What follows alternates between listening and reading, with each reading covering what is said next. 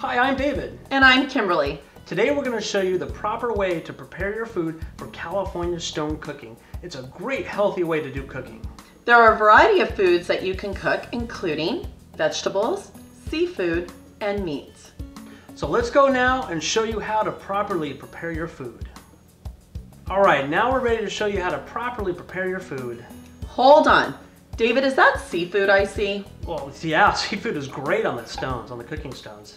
I'm sure it is, but I have a seafood allergy, so it's very important that you prepare and cook your food on separate stones. Gotcha. You know that makes so sense to do it. You definitely got to be careful with the uh, with the type of food that you cook. Now, the first thing I want to talk about is actually the cooking stone not heated up. You can actually take one of the stones, put it into the freezer for about four hours, and then you can display cold hors d'oeuvres like the shrimp on this, and this is going to keep it cool. The shrimp's probably going to disappear faster than it needs to anyways, but this is a great way to, to do your cold hors d'oeuvres as well. Absolutely. So let's get started. We got a lot of stuff going on over here on, on our plate. Why don't you show us what you got over on your side? Okay, well we have a variety of vegetables that you can use. We'll go ahead and start with the mushrooms.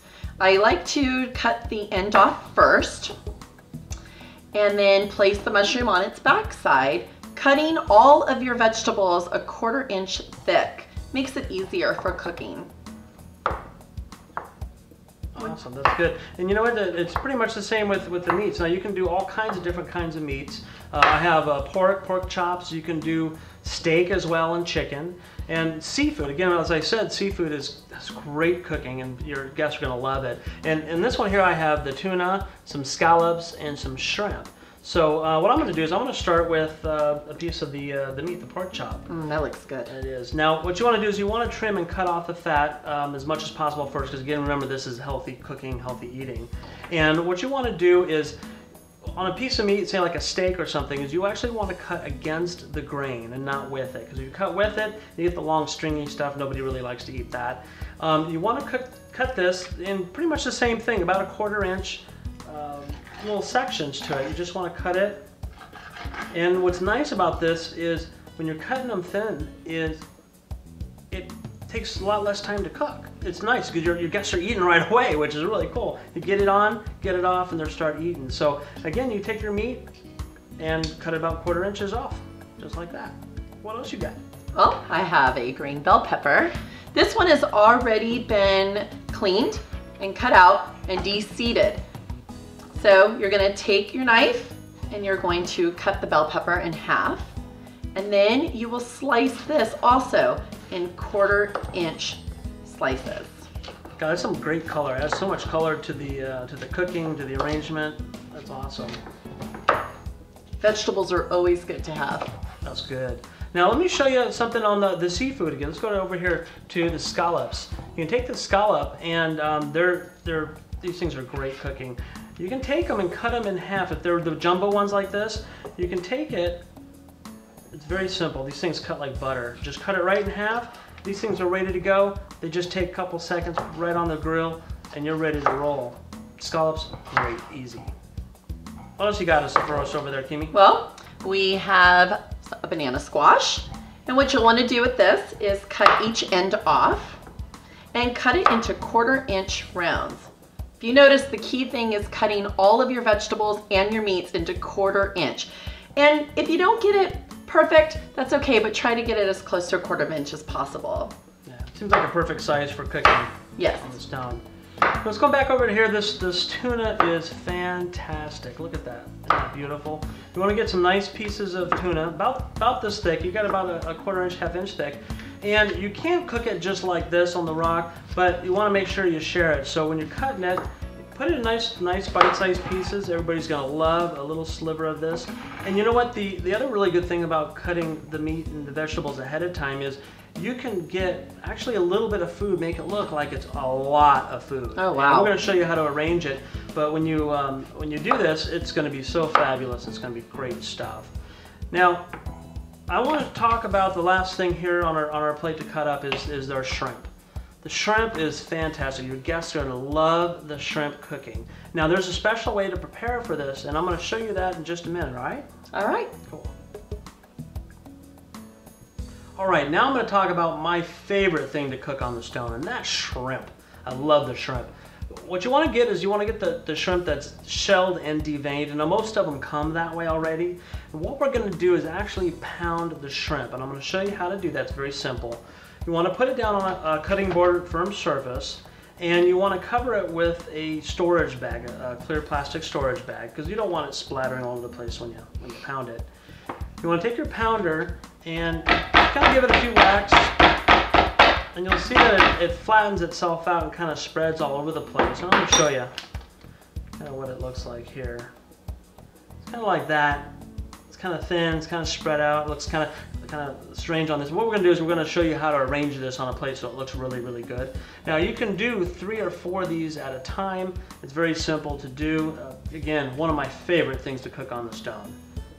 Well, now that you've covered your favorite things, let's talk about one of my favorite things, yeah. The snow pea. The snow pea is really good for the stone. What you'll need to do first though is remove the fibrous string along the side like this, which allows this to be nice and tender to eat. You'll take this, place it on the stone and cook it. Yummy. Oh, it sounds great. Mm. Now this, this stuff looks so good out here, even the way it is set up, all the beautiful colors and everything. We're gonna actually show you how to arrange this so it looks even better before your guest comes. So just in a couple minutes, we'll come back and show you that. All right, now that we're done showing you how to prepare the food, this is how you present it. This is so beautiful. You can see we have the pork chops with the garnish. We got the vegetables over there, the seafood. It's all nice and neat on it. Isn't that beautiful? That's so wonderful. Your, your guests are just gonna love this.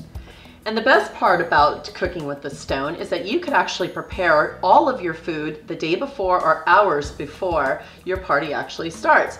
Once you're done preparing it, just place plastic wrap over it and stick it in your fridge saves a lot of time instead of cooking over the stove all day. That's a great advantage. Uh, another thing I want to talk about is marinades, seasoning the meat. Now we don't want you using marinades because of the sugar content. It has a tendency to uh, burn a little bit or stick on the rock. The best thing to use is a dry rub or some light seasoning, salt and pepper, but the one I like the best is using dipping sauces. It's so wonderful. You can get so many different kinds of sauces, like a sweet and sour sauce or soy sauce. What are Ooh, your favorite sauces? Mustard sauces are the best for me. Awesome. That way you have a nice variety. People can take what they want.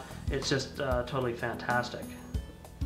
Now you can see that we have the two rocks here. Remember we said we're going to keep these things separate uh, for Kim there. We're going to have the seafood and, and on one rock and then vegetables and meat on the other. Does that sound good to you? Absolutely. Again, it's extremely important that you keep them separate due to cross-contamination and allergies. Yeah, definitely, definitely you want to pay attention to that. Now we're going to take you over to the stove and show you how to heat your rock and get ready for cooking. All right, now what we're gonna do is when we heat the stones, you put the stones right on the stove and you're gonna crank it up on high for 30 minutes. That's gonna get the stones really nice and hot, ready for cooking. What we're gonna do is we're gonna transfer the stone to the stainless steel holder. And I'm gonna use a fork to help me with this. And we just hold it at the back end, scoop it up, and transfer it right over to the holder, right like that. You wanna make sure you turn the oven off. I'm gonna do the rest of them. We're gonna take them right over to the table. Once you bring the stones to the table, now you wanna make sure you use pot holders because they're really, really hot. You set them down in, in the middle of the table like this. We got some friends and relatives here for us to enjoy a great meal.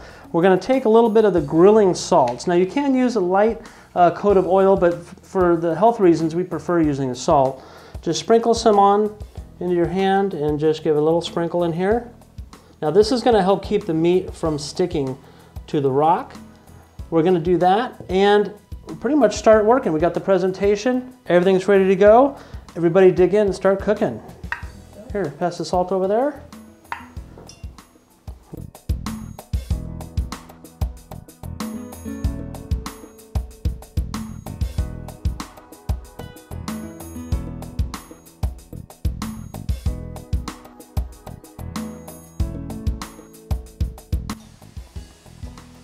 All right, one really important thing to remember is these rocks are really, really hot. So when you have children around the table, make sure that they don't touch it. And these rocks are gonna stay hot for about two hours.